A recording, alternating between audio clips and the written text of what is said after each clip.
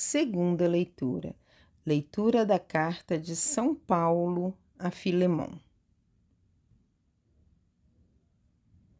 Caríssimo, eu, Paulo, velho como estou, e agora também prisioneiro de Cristo Jesus,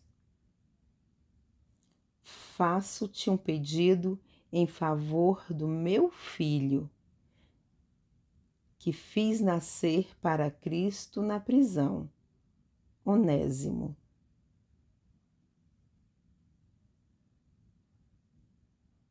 Eu estou mandando de volta para ti.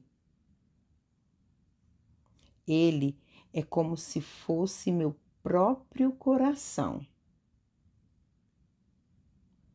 Gostaria de tê-lo comigo, a fim de que fosse teu representante para cuidar de mim nessa prisão, que eu o devo ao Evangelho. Mas eu não quis fazer nada sem o teu parecer, para que tua bondade não seja forçada, mas espontânea. Se ele te foi retirado por algum tempo, talvez seja para que o tenhas de volta para sempre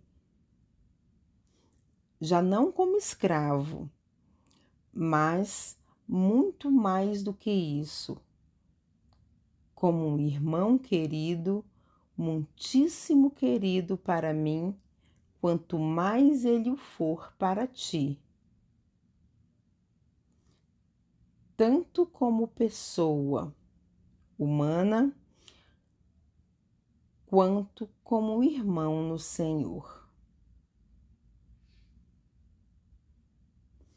Assim, se estás em comunhão de fé comigo, recebe-o como se fosse a mim mesmo. Palavra do Senhor.